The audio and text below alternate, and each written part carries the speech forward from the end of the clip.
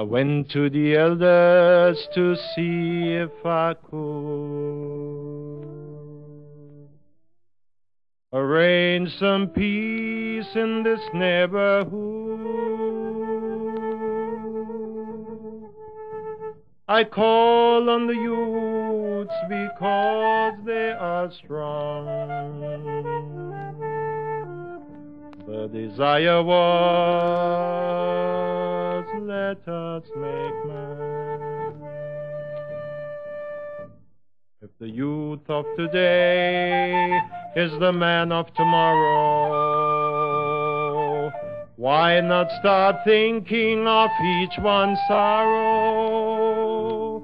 To covet is to envy, to envy is to lust. Make good living your daily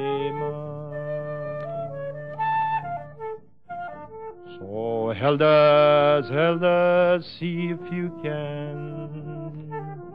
For all these youths you must understand. Don't you think it's a crying shame for their lawlessness?